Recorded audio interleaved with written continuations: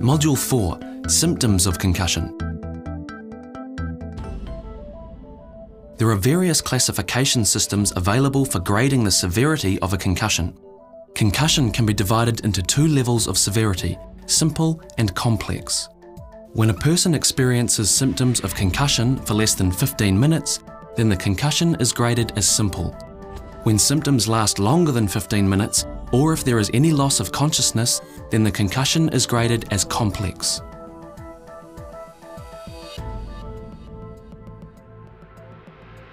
Regardless of the grade of concussion, the person should be removed from any sport or activity that places him or her at risk of additional injury.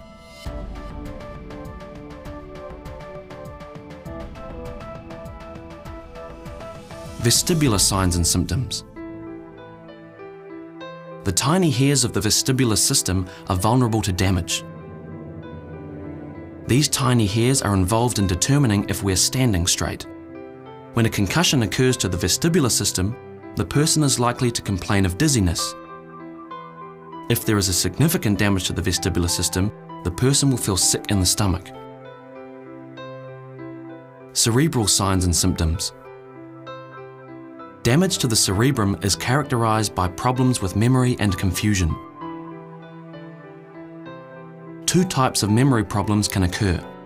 The first is memory for events immediately preceding the injury. The person may not be able to tell you exactly what happened to cause the concussion. This is referred to as problems with retrograde memory. A more common memory problem is the inability to remember new information. To test this, the person is asked to repeat three unrelated nouns, for example, sky, apple, and glove. Then the person is asked to spell the word world backwards.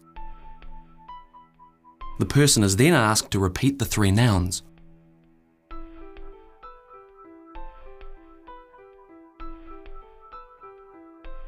A person would normally have little difficulty with this simple memory task. Someone with difficulty remembering all three words is said to have difficulty with anterograde memory, Confusion is more of a subjective symptom and requires observation. The person will appear dazed or stunned. It is not unusual for the concussed individual to answer questions slowly.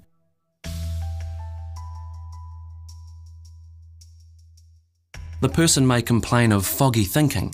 The person may be unsteady in walking or unable to reach effectively.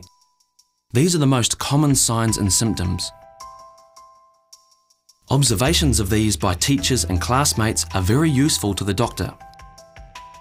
They are also useful in deciding if a person needs immediate medical attention. With the exception of headache, any one of these symptoms is sufficient to classify a concussion.